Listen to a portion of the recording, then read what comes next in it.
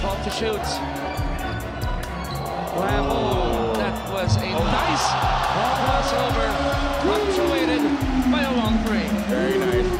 Going right, holds it back in direction.